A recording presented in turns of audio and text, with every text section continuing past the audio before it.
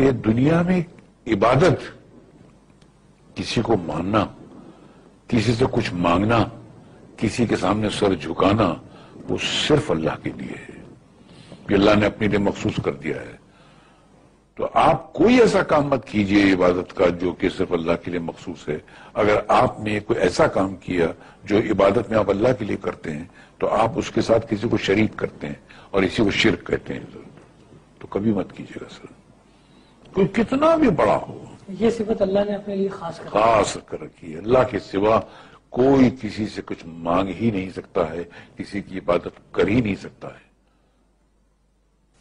अच्छा ये सिफत के अलावा कुरान मजीद में भी बार बार वाजे तौर पर बयान कर दिया गया। हाँ। ये दिन ये आपको पहली बार जो कलमा में पढ़ाया गया उसमें भी गया ला इलाहा इल्लल्लाह मोहम्मद रसुल्ला कि दुनिया में इस पूरे आपकी ज़िंदगी में कोई इबादत के लायक है ही नहीं।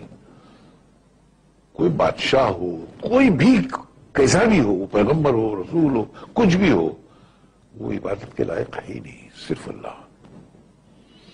ये मखसूस है अल्लाह के लिए। और अगर किसी ने भूल से किसी से मांग लिया, किसी के दर दर बारगाह में जाकर कुछ मांग लिया तो उसने उस काम में, इबादत के डिपार्टमेंट में उसको अल्लाह का शरीक कर दिया, सर। तो फिर अल्लाह नहीं बख्शेगा, सर। अरे अल्लाह तो क्या, उसके फरिश्ते नहीं बख्शेंगे। वो पूरे जलाल में आ जाते हैं उस वक्त। इसलिए इंसान अपने आप को तबाही से अगर बचाना चाहता है तो कभी भी वो अल्लाह की इबादत में किसी को शामिल ना करे।